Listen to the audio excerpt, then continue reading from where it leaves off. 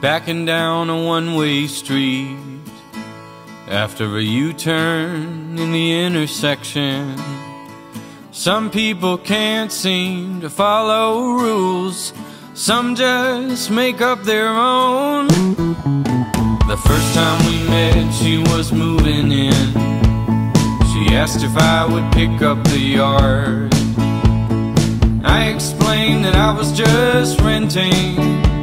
But she didn't seem to understand that If you tell a story You gotta give some context for the characters you name.